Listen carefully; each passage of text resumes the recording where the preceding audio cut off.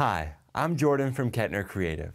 In this video, I'm going to show you the SSL2 Plus audio interface from Solid State Logic. Solid State Logic has always made some of the nicest recording equipment and now we finally have an audio interface with their name on it. This thing is super cool, it has tons of different features and it comes in at a great price point. Now, since the price is always changing on this type of equipment, we have some links in the description below for you to check out if you want to see the current price and any specs that we may have missed in this video. Now before we show you how this interface works and how it sounds with the microphone, let's talk about what you get when you order this item. What comes in the box?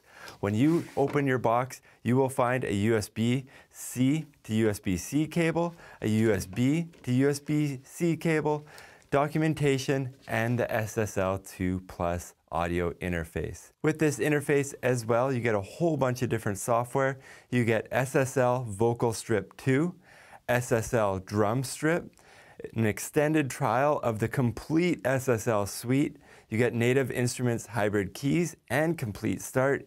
You get Avid Pro Tools first, Ableton Live Lite, and a gig and a half of samples from LoopCloud. Now again, before we get to the demo of this, let's just quickly go through the specs. For the specs of this device, we have 48 volts of phantom power. We get a bit depth of 24. The sample rates are from 44.1 all the way up to 192 kilohertz. For mic preamps, we have a gain range up to 62 decibels, an EIN of minus 30.5 dBu. What this means is that you're getting a ton of output out of these preamps and a very, very low noise, which is a super good mix to have. SSL absolutely killed it with these mic preamp specs, especially for this price point. We also have a max instrument input level of plus 15 dBu, a max line input level of plus 24 dBu. For monitor outputs, we have a dynamic range of 112 dB, an output level of 12.5 dBu.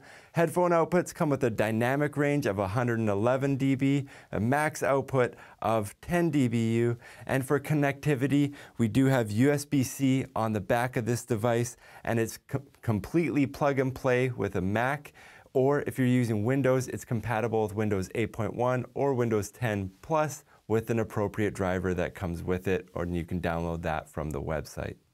Now, before we get into plugging stuff into this, let's just quickly cruise around the device. If you're looking for the SSL2, I'll try point out the differences between the SSL2 Plus, like I have, and the SSL2 as we move around the device. So on the back of the device here, we're super happy to see that it has USB-C. I believe this should be the standard on every new audio interface. So we're gonna plug this into the computer so we can get the lights working. Now on the SSL2 Plus, we have MIDI in and out. That does not come with the SSL2. We have two headphone jacks. On the SSL2, you'll only get one headphone jack. We get RCA outputs and we get balanced quarter inch outputs as well. On the SSL, you do not get the RCA outputs out of this audio interface. Then we have Neutrik combo jacks here. So we have mic level inputs, quarter inch line level inputs and quarter inch instrument level inputs, depending on what you're wanting to record.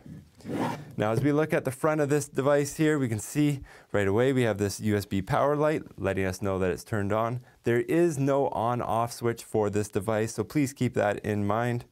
Now, starting at the top, we have two identical channel strips. We have channel 1 and channel 2 each come with their own 48 volts of phantom power. It does take a minute it will, or a couple seconds. It will mute the input, turn on 48 volts, and then unmute the input for you. Now, if you're using XLR inputs, it's ready to go. But if you're using quarter inch line level inputs, you just got to press that line level button. And if you're using instrument inputs like electric guitar or electric bass, you leave the line level button pressed and you'd add the high Z button to it. Next, we have this LED strip. You can see here that it moves in minus 10 increments from zero all the way down to minus 40. This is super cool, but I do wish that we had a bit more detail somewhere between minus 20 and zero. If we had minus 15 and minus five as well, that would be super helpful, I think. Next, we have the gain here. It goes from 0 all the way to 10. These gain knobs are built super well, almost no movement side to side on them whatsoever. They feel heavy, but not too heavy, but they do definitely stay where you want them. No clicks or no intervals there. Nice heavy uh, rotation on it, which feels good when you're adjusting the level there. And then below that, we have the 4K switch. Now the 4K switch is super cool. It's one of the features that make this stand apart. It tries to emulate the old SSL 4000 uh, vibes that people loved. What they say is it adds some kind of distortion to it, or as they call it, they call it mojo, and then it also adds a high-end EQ boost as well to give that more present voice. It really does open up some microphones super well. We'll try this device with some microphones coming up, both with and without that 4K button switch engaged. Now this 4K button here, it has a nice click to it as well, feels super durable, like you can beat on this thing for years to come. As we move over, we see here again that USB light just letting us know that we are powered up. We have this monitor knob for the balanced quarter inch outputs and RCA outputs on the back. And it does go from all the way from zero to 11. So again, anything that you record on a device that goes to 11, you just know it's gonna sound better no matter what. Super cool that SSL adds funny little things like that to their audio interface.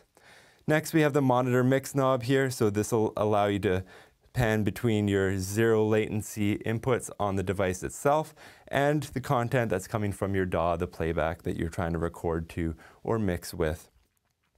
You also get a stereo button here. This will allow you to switch between keeping both inputs in both ears or panning input one to your left and input two to your right to keep them separate if you're doing some stereo stuff or you really want to keep them separate.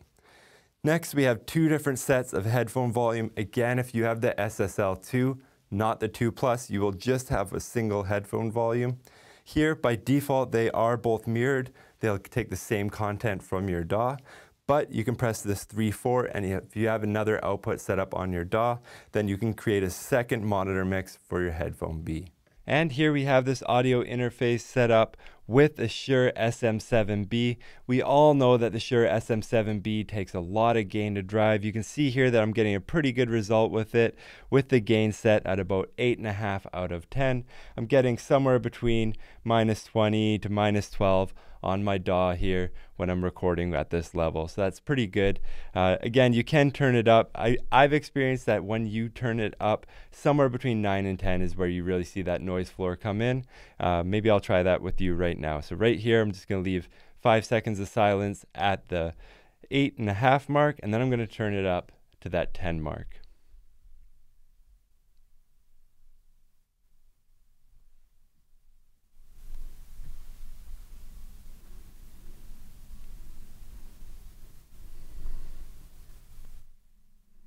So there we have it. That's the Shure SM7B totally cranked up and back back down to that 8.5 mark. As you can see here, there's no cloud lifter or no mic preamp or inline preamp or anything like that. We're just going SM7B straight into the solid state logic SSL2 Plus. Now let's try this with the 4K switch engaged just so you can hear how that high frequency boost and a little bit of that analog distortion will affect the input of this microphone. So here we have the Shure SM7B microphone. We've turned on the 4K switch and now you should be able to hear a bit of a high presence boost. Definitely opens up this microphone quite a bit, I think. And we hear a little bit of that distortion in there, that mojo as SSL likes to call it. I'm gonna turn that off. So now let's talk about my overall impressions of this device. Overall, I think that this has a great sounding preamp. I think it has a ton of output. I think it has a very low noise ratio. I love that you can get two different monitor mixes on it. If you're doing something like a home podcast with two different people, you can set up your monitors exactly how you want them. I love that it has USB-C. I love how tight and heavy all the buttons feel. It's just the right amount of weighting. It's super usable. Now, in terms of cons, there's a couple big cons that stand out for me, especially from an ergonomics point of view. I don't like how all the jacks, all the I.O. is on the back. This says to me that this is really meant to stay plugged in so maybe if you're like uh, recording from your desk all the time, or you're doing a lot of video conferencing where you're not doing any in and out, it's just all permanently installed, neat and tidy. This kind of ergonomic setup would work really well for you. But I think one thing that's majorly missing that they have to address with future versions is I really do think at least one headphone jack needs to be out the front. I think that's a big oversight. A lot of the times when you're working in a studio, you're plugging your headphones from one thing to the other or you're trying different things. And I think that that's a big oversight, keeping everything on the back. Obviously, for me, if I'm doing more reviews on a desk like this, I stand behind it. So it's really good for me. I'm probably going to use this in a lot of upcoming microphone reviews because I can easily patch things from the back while keeping the device pointed towards the camera. But other than that use case, I think they really bobbled it. I think a lot of people will miss having the I/O on the front, but I'm not sure what they were considering. I'm sure there is a reason that they went with this. I'm sure there's a whole class of users out there that prefer it this way. It just doesn't resonate super well with me. Another thing that I think is a big oversight is again with this LED strip. I think that they could have had a little more clarity, something at minus 15 and minus 5 uh, to keep that minus 30 to minus 20, just hitting it, seeing it touch minus 20 or something, it doesn't really give me the detail that I need. I would really want to see if it's hitting minus 15 or not as well. So that's my review of this unit. Again, if you want to see pricing for anything that you see in this video, we have a whole pile of links in the description below. If you have any questions or comments on this interface, please leave those in the comment section below. And again, if you want to see more videos like this in the future, please like and subscribe. Thank you for watching.